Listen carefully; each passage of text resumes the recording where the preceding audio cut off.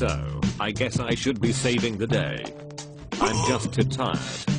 It's like 10 pm and I already missed the game. It's okay I guess. I'm fucking Superman. Actually, no not really. I'm a sexy motherfucker who fucks bitches in the ass. Just the other day I was eating a taco and some whore comes up and asks me for a dollar. I was like what the fuck? Does it look like I have a dollar? I'm a fucking superhero. I get paid with gay shit. The key to the city. Seriously? That's the biggest fucking key in the world. I can't open shit with that big motherfucker. Then they throw me a parade. WTF. I saved your worthless ass for a bunch of confetti. Give me some good pussy. Being a superhero sucks major balls. It's okay I guess. With great power comes great responsibility. Spider-Man. How about you suck on these Chinese nuts?